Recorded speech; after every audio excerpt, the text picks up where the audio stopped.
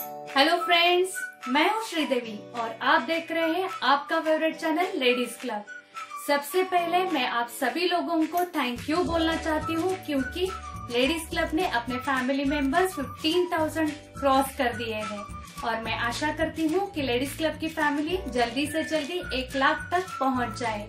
इसलिए आपको क्या करना है तो नीचे दिए गए सब्सक्राइब बटन पर क्लिक करना है ताकि हम सब लोग नए नए क्रिएशन सीखते रहे।